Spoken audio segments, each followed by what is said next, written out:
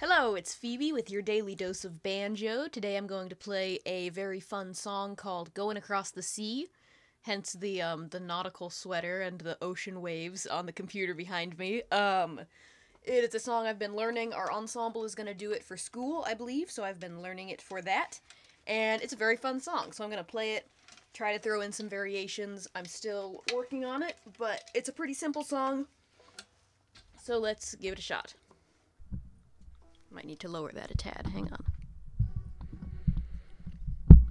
There we go. I'm still figuring out um, mic placement. Sometimes I don't get close enough to the mic and it's too quiet. Um, so hopefully that is not the case. Alright, I am in E, which is C tuning capoed all the way up to E. And this is going across the Sea.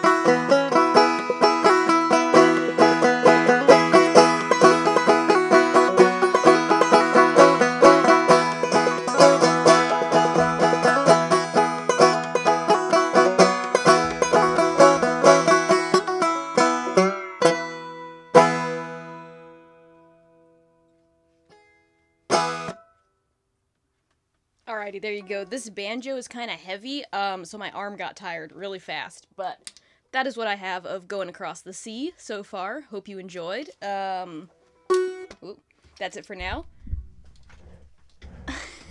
I will see you next time for your next daily dose of banjo. Stay well. Goodbye.